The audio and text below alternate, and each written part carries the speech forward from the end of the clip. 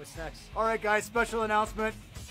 Mark it on your calendar. September the 26th, the home opener for the Hamilton Bulldogs. The Hamilton Bulldogs. First Ontario Center.